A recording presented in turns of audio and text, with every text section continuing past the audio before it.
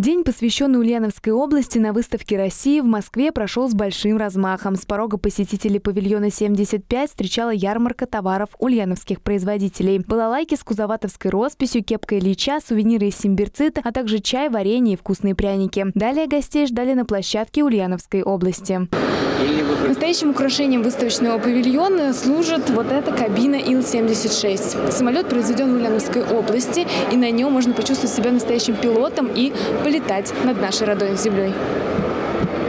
Кабина самолета – место притяжения всех посетителей. Для того, чтобы полетать над Ульяновском, выстраиваются очереди. Почувствовали себя пилотами и высокопоставленные гости площадки. Заместитель председателя правительства России Дмитрий Чернышенко, полномочный представитель президента России в ПФО Игорь Комаров и депутат Госдумы Геннадий Зюганов. Ну что, штурвал на себя? На торжественное открытие Дня региона приехали десятки школьников и студентов, серебряные волонтеры, кабинет министров и жители Ульяновской области. От увиденного все остались под большим впечатлением. Выставка, на самом деле, очень интересная. Не зря мы сюда приехали из Ульяновска. А, мои ожидания оправдались. Самолет из Ульяновска просто очень здоровский. А, одна из самых лучших, я считаю, выставок на всем ВДНХ. Ульяновская область славится своими спортивными достижениями. В День региона прошло множество мастер-классов и разговоров с олимпийскими чемпионами. Славится регион и локальными брендами одежды. На ВДНХ показали десяток лучших коллекций ульяновских дизайнеров. Изюминкой показа стала коллекция в коллаборации Никаса Сафронова и регионального ателье. После мероприятия прошла закупочная сессия для байеров. Основная задача – это, безусловно, увеличение продаж, показать э, байерам э, и рядовому потребителю. Ведь выставка России – это центральное место, которое как раз во многом пространствах позволяет показывать лучшие достижения народного хозяйства, в частности, отдельно взятой Ульяновской области. И, конечно же, мы рассчитываем э, и уже предварительные переговоры с э, теми компаниями, которые занимаются продвижением реализации одежды на российском рынке.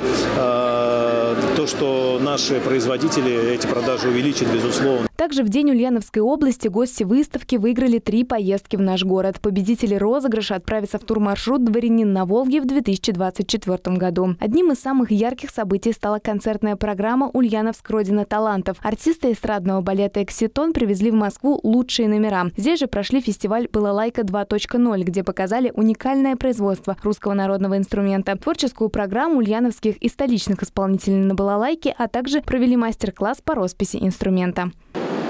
Замечу, что на главном элементе нашей экспозиции, знаменитом транспортном самолете Ил-7690, написано «Летим жить в Ульяновск».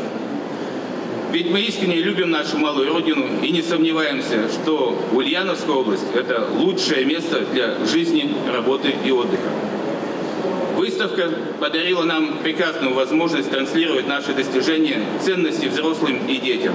Одна из самых теплых и уютных площадок, посвященная региону, это Центр активного долголетия. Тут посетители смогли отправить открытку с пожеланиями в зону СВО, узнать про серебряное волонтерство, посмотреть уникальный фильм «Время выбрало нас», а также расписать пряник с пекарни на мостовой. Расписывать мы будем пряники, да, чтобы происходить, расписывать пряники глазурью. По поводу символичного, не знаю, посмотрим, как пойдет, мы предложим пару вариантов, а там уже по желанию. И участвовать, наверное, будут все желающие. И самое главное, что как у нас принято в мостовой, каждый пряник э, будет подарен пряники Ульяновска, конечно, Ульяновск. Приехали наши, да, фирменные.